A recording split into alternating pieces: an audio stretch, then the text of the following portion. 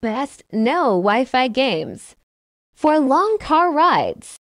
Part 2. I recently opened a hotel, but I did hateful things.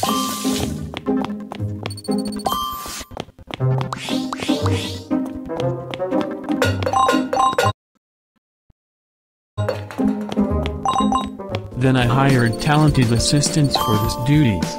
Manager.